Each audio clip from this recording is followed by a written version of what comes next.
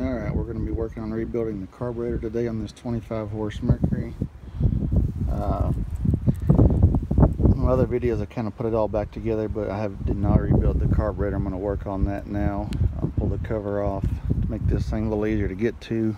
I'm going to pull this top cover off here. It's a 10 millimeter, There's three of them all the way around. Disconnect the rod, and then the fuel tube here at the top. It just pushes in right there. Pull it out All right, now that we have the cover off, we're gonna go ahead and I'm gonna pull this fuel line loose here and disconnect this rod here. Kind of just goes up and under and connects into there. Um, we'll go ahead and get those out of there.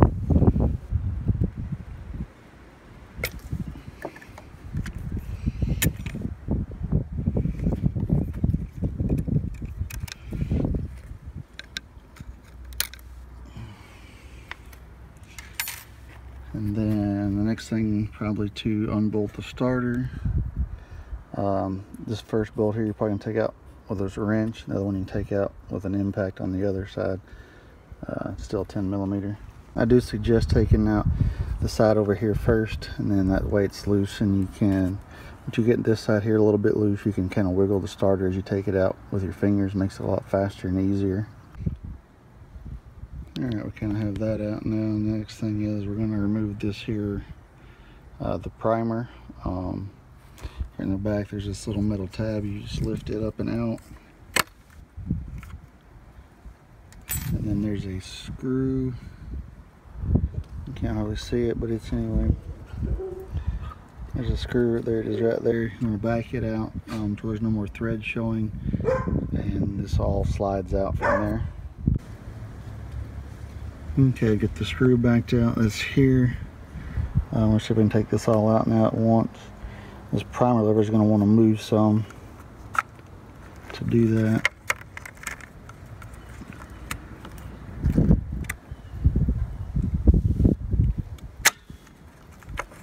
And that comes out and that's separate piece there. So now it kind of comes apart. all the next thing here is to try to get this carburetor up and out. Uh, there's two nuts that hold it on. There's this nut here at the top and then there's one on the other side. You see it right there. And then this cover here all this makes it hard to come out but you can't quite reach into those to take the cover off with this lip here. So what I found is if you take them loosen it up and you can lift this up high enough to take these out. I think these are an 8 millimeter. These ones in the back I think are still the 10 um, then you can take the cover off that makes the rest of the, the carburetor come out much easier. And back here uh, the two nuts that hold the carburetor on are 13 or a half inch millimeter. All right so we got the cover loosened up. And there's the two bolts here in the front that hold it in. So this part just kind of comes up and out. And then you have this part of it kind of wiggles out together uh, I took this out before, I had to kind of wiggle the carburetor and that out together. It's kind of tricky, I'm gonna need both hands, but that kind of gives you an idea. All right, now we have the carburetor out and there's that plastic cover. Just kind of goes on the front in those two holes. That it, that's it removed. And here's kind of the front side of the engine where it sat.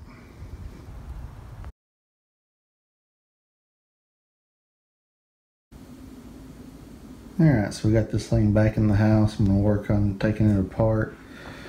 Uh, make sure there's no fuel in it. You can kind of drain these two screws at the bottom. Take them out, drain any extra fuel. And then kind of disassemble. Keep in mind of where all of your different uh, pins and gaskets are on here so you can put them back in the same place. This is the motor side. Um, kind of goes from there. I believe this model is the WMC 53A, I think is the model number for this. Uh, anyway, so we're going to kind of work on that. I'm going to start here at the top and kind of go down myself. Um, anyway, we'll get from there. And know this screw here, you can take it out and then eventually the bowl will separate and the floats inside of here. And then once that's separated, you can take these four screws out of that side um, All right, one thing to note, you may have to loosen that jam nut. This one is an eight millimeter and then back that screw out to be able to get to the bottom left-hand screw. And then we're gonna go ahead and see if we can set this down easy enough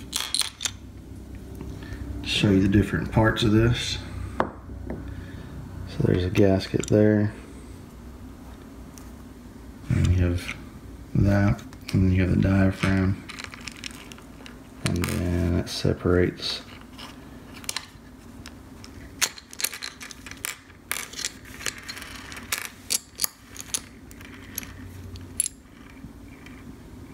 from there. Those are those pieces. And there's a little spring on that side. That's where that goes. And then we're gonna go ahead and keep disassembling. I've already moved the, the piece off the top there. Some of these have an electronic choke that goes in there where that top bracket was that I have laying over here. Uh, some people have an electronic one that sits up there on top. This one does not though. Alright, I went ahead and removed the, uh, the idle adjustment screw there. And then, if you didn't already loosen these, on this one, this is a 13 millimeter and this is an 11. You already got them loose. I'm gonna go ahead and take them out of there. There's a washer or a gasket on the bottom of that side there. And also there is a little spring and a little ball inside of there. Anyway, there's you can see a little ball still inside of there. Be very careful on those so you don't lose them.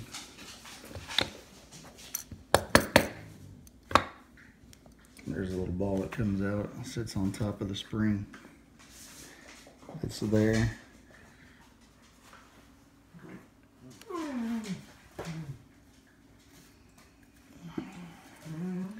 And that's kind of what I've taken apart, trying to keep everything in order and the way they faced, and kind of how they took them out so I can put them back in the same place.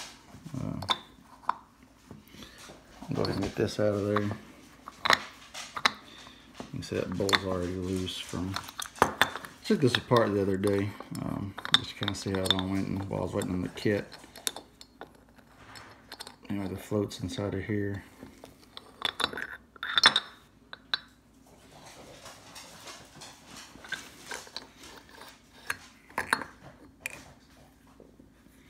There's that part float. And then you have this.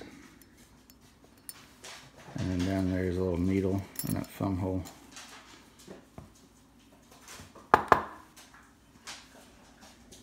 It out. Sits down in there. Alright, we have all four screws loosened on this. Uh, there's a little hole here on the side, kind of pay attention to that when you go put it back together, and it's also under some spring pressure, so be easy when you separate it. And there's that. Mine, this one here is kind of dry rotted, and a lot of that stuff had flaked off, so I'm going to be replacing that with my kit. Uh, there's the spring. There's some seals in there, so we're to work on getting some more of this apart.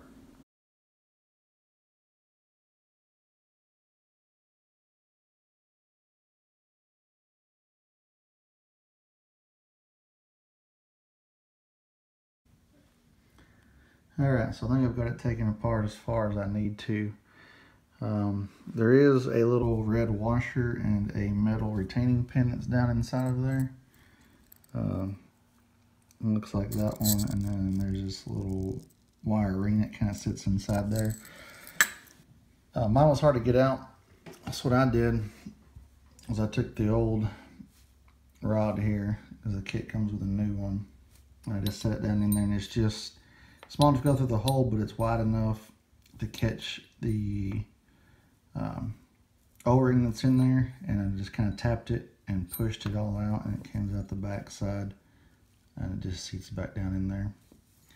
Um, so anyway, we're going to clean this up with some carb cleaner, and then let it dry, and then start reassembling. Uh, there's all the old parts. And the new parts, this kit has several things in it. There's some extra springs here for some different numbers that I don't need. Um, this kit did include a new one of these in there. Uh, several additional springs that I probably don't need. Um, a few other things like that. So we're gonna start working on getting it clean and back together. Thank you. All right, we got everything put back together. Had to wait on the float to come in. It was shipped separate than the rest of it. Uh, so we got that put back together, uh, cleaned up, and now we're gonna work on getting this back installed.